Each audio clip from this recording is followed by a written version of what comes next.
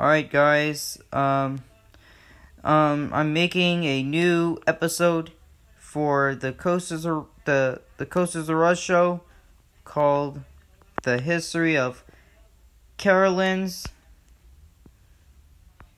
So yeah, and this is gonna be a request from my friend Norman Studios Chief. So yeah, so stay tuned for that. So yeah, stay tuned for that. So stay tuned for that and stay tuned.